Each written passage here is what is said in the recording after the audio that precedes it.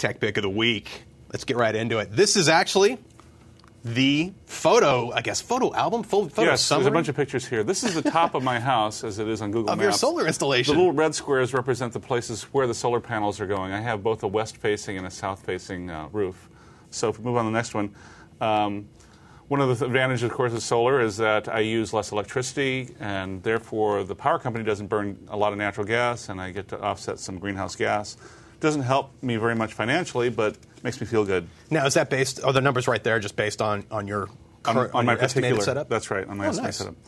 Um, and this is a, this is an emergency cutoff switch. They have to install this for the power company. If there is a problem like a fire or something like that, the fire department needs to be able to uh, switch it off. The problem is they put this right in the front of my house when they installed it.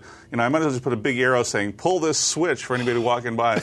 So we had to do some things to move it around to the side of the house, including cutting the fence post down and rerouting a uh, downspout. So that's where it's going to be on the side of the house, where it's not quite so visible. So the reason it has to be near the front is a power company requirement because we have two little dogs, and if you have dogs, you have to put the power cutoff switch where it can be reached from outside the fence. Gotcha. One of those nice little things. Got to keep the dogs away from the employees. Right, and then of course the other little glitches. They sent us the wrong panels, but this is a sticker of the right panel. This is a SunPower 225 uh, watt panels that we're getting 27 of these babies for Wow. a total of 6.1 kilowatts.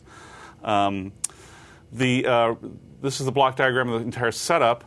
The panels go through provide DC power from the sun, and then go through an inverter, which converts it to AC power, which then gets fed into the load box, that is the, your circuit breaker box for the system, and and then of course you also get power from the grid.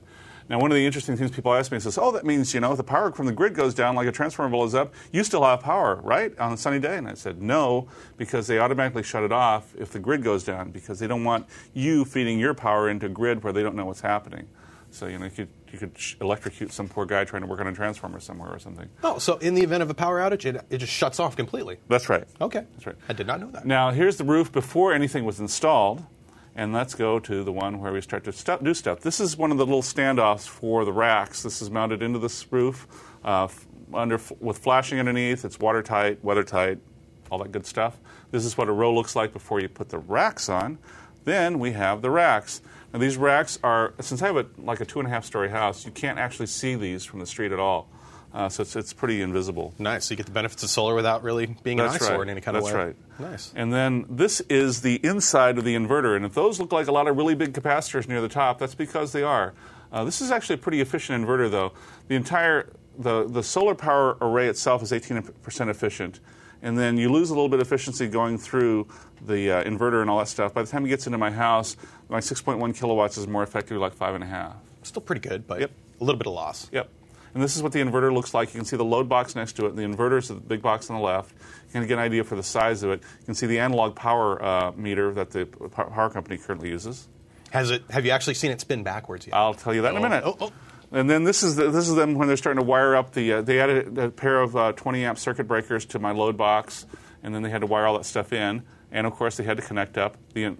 The, the wiring, there's a lot of wiring, obviously, and of course they had certified electricians. It's all bonded and licensed. Now here we are wiring in the uh, inverter into the load box. And here's the power meter. Again, I'll get to the little bit about spinning I backwards. want to You see the little dial in the center? That's the thing that goes forward or backwards. So it normally goes rotates to the right as you consume power from the grid. Counterclockwise if you're looking down at So, it. and then this is this typical wiring you have on the ceiling, on the roof. I mean, of course, there's the rack. You can see the rack and all the wires that need to be hooked up. There's also copper ground wire that goes down to ground as well. So you know you don't have issues with uh, elect- people getting electrocuted or losing power. Just That's cool. So really, aside from the racks, all the wiring is concealed within the racks itself, and then the one piece of Yes, conduit and then goes then you have conduits that come out and run along the roof, Okay. and then down to the to the ground. tidy looking. And this is a SunPower 225 watt solar panel. This is these are the panels that are going to go up in my house because you can see the guy standing next to you, you get an idea for how big it is. it's a decent sized panel. Yep, and they, they're starting to lay them into the racks here. They've got uh, um, this is the south facing roof. This is going to have nine panels altogether. And then you, this is the west facing roof, which will have 18 panels, two rows of nine that they're putting in here. And then this is sort of the way it looks. You can see the nine panel rack. This is from the top of the roof, uh, just above the uh, 18 panel rack. So you can see how it look, look from there. And that's the solar panel installation. Now you asked me if Pretty the, sweet. if the meter spun backwards. Well, we fired it up. Tempor- we couldn't fire it up for very long because Oh. the inspection, final inspection, isn't until tomorrow, actually. Uh, but they did fire up to test it up, and I did watch the dial stop and then start to go the other direction. It was really sweet to watch. It was Uh, it was a semi-cloudy day, partly cloudy day with a few clouds in the sky, kind of semi-dark really for uh, a sunny day in California. But I was, I was, the system was generating just under five kilowatts at that point. Is that enough to drive the entire household oh. as Oh. it stands right now? What Oh, about yeah. a family of four, a large, largest pretty- house? I mean, consider the fact that my wife and I both work at home most of the time.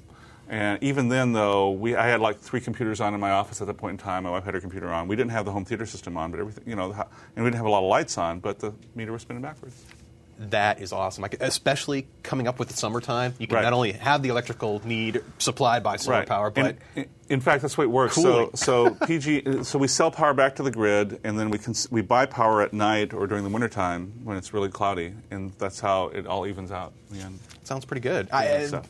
congratulations. Yeah. That looks like a cool project, and I'm, uh, Mhm. I'm glad you were able to share that with us. Right, and we have some advantages here in California because there's a California rebate program, so we got a, we got like a, almost 20% of it back. Is that still going on, or is that ending soon? No, it, it decreases over time, but it still goes on for another couple of years. So if people are interested in it, Now's is there time. information in the article that's on ExtremeTech right now that We talk we just talk about the costs and stuff like that, but uh, you can. I'm not sure, but you, any of your solar power providers in California will tell you what the rebate structure is. Okay.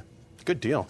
Awesome, awesome. And please, if you have your cool tech pick to show off, be it a cool solar installation or something local to where you live, do send it to us. We do like to see these things. Please email us at dl.tv at ziffdavis.com with the word show notes, or the words show notes, show notes. with, ah, I'm recovering from a cold. Please forgive me. With the word tech pick in the, sh- in the subject line so we know what to look for as we look through our email. Awesome. Awesome.